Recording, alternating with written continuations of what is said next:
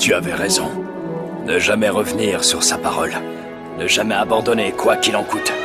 Voilà bel et bien les fondements de ton code d'honneur. Naruto, je suis ton maître. Je me dois de montrer l'exemple, je n'ai pas le droit de faiblir. On dit toujours que le disciple est le reflet de son maître, qu'il s'imprègne des vertus de son modèle.